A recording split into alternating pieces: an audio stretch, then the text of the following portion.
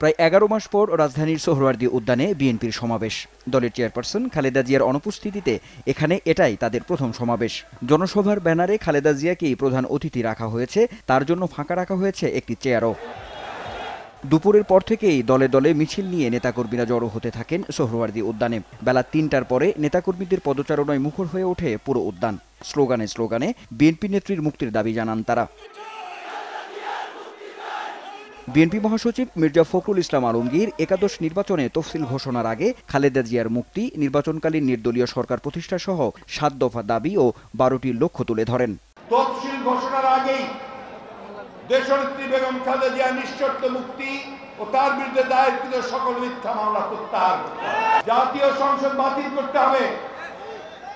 সরকারের সরকারকে পদত্যাগ করতে হবে। সকল রাজনৈতিক দলের সঙ্গে আলোচনা করে নির্বাচনকালীন নিরপেক্ষ সরকার প্রতিষ্ঠা করতে হবে। এই দাবি ও লক্ষ্য বাস্তবায়নে দুই দিনের কর্মসূচিও ঘোষণা করেন তিনি। আগামী তিন অক্টোবর তেসরা অক্টোবর বুধবার এই সকল দাবিতে সকল জেলায় সমাবেশ এবং সমাবেশ শেষে জেলা প্রশাসকের নিকট স্মারকলিপি পেশ। আগামী চার অক্টোবর বৃহস্পতিবার মহানগরগুলিতে সমাবেশ এবং সমাবেশ শেষে বিভাগীয় কমিশনের নিকট স্মারকলিপি পেশ এরপরে পর্যায়ক্রমে আমরা আন্দোলন ধাপে ধাপে কিনে যাব।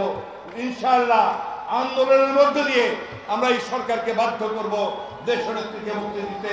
নেতারা হুঁশিয়ারি দেন চেয়ারপারসনের মুক্তিসহ দাবি দেওয়া মানা না হলে রাজপথে আন্দোলন গড়ে তোলা হবে। সেই আন্দোলনে সবাইকে প্রস্তুতি নেওয়ার আহ্বানও জানান তারা। হারায় করার জন্য আন্দোলন ছাড়া বিকল্প নাই।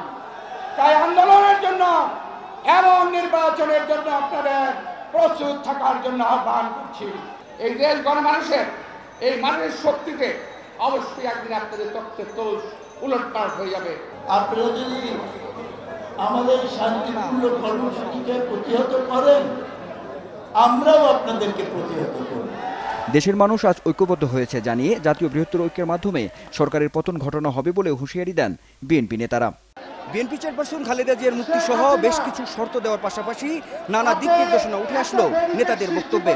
তবে সমাবেশে আসা তৃণমূল নেতাদের মতামত, বিএনপির সকল দাবি ও কর্মসূচি বাস্তবায়নে এই ধরনের বড় সমাবেশ এবং রাজপথে আন্দোলনের কোনো বিকল্প নেই। আনোয়ার হোসেন, দেশ টিভি, ঢাকা।